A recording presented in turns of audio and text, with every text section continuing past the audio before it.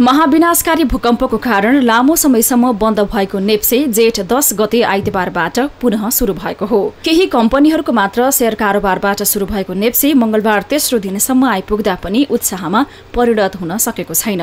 भूकम्पले पुर्याएको भौतिक क्षति आफ्नै ठाउँमा छ तर लगानीकर्ताहरू अझै पनि भूकम्पको मानसिक त्रासबाट बाहिरिन सकेका छैनन्। यस्तोमा उनीहरू आफ्नो लगानीको सुरक्षित व्यवस्थापनको खोजीमा रहेका छन्। लगानी मैत्री वातावरण नबनुन्जेल शेयर कारोबारले सूचकाङ्कमा राम्रो सङ्केत नदेखाउने नेप्सेका प्रमुख प्रबन्धक प्रमोद कुमार भट्टराईको भनाइ छ। ब्रोकरका भवनहरू क्षति पुग्यो। उनीहरूको भनौँ त्यो भवनमा बस्न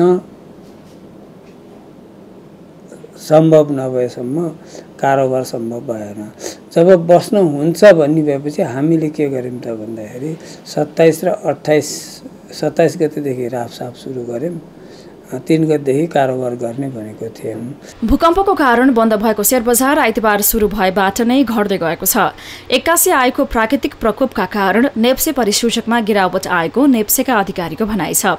नेप्से परिसूचक आइतबार अठाइस दशमलव तीन सात अङ्कले घटेको थियो भने सोमबार उन्तिस दशमलव दुई नौ अङ्कले घटेको थियो।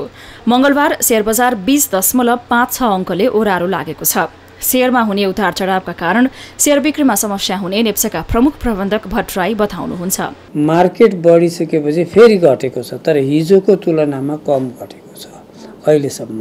भन्नुको मतलब मार्केटको यो नोमिनल फिनोमिना हो घटबड हुने हो। त अब के त भन्दा त्यो इन्भेस्टर्स पर्सेप्सनमा अहिले बढी भर पर्नु पर्यो। किनकि अब मान्छेलाई पैसा चाहिएको छ बेच्ने साधन के त भन्दाखेरि सेयर हो।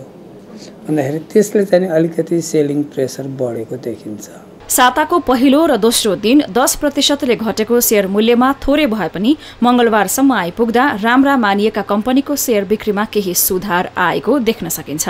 लगातार लामो समयसम्म सेयर कारोबारमा भएको अवरोध र आर्थिक क्षेत्रमा देखेको तरलताको कमीका कारण यतिखेर नेम्से सेयर कारोबार सुचारू गरे तापनि लगानीकर्ताको हौसलाको कमीका कारण सेयर बजार अहिलेलाई औपचारिकता मात्रामा सीमित देखिन्छ।